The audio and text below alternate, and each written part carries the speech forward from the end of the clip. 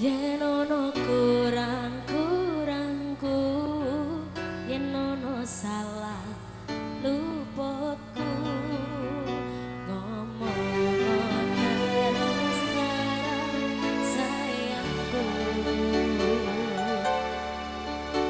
ojo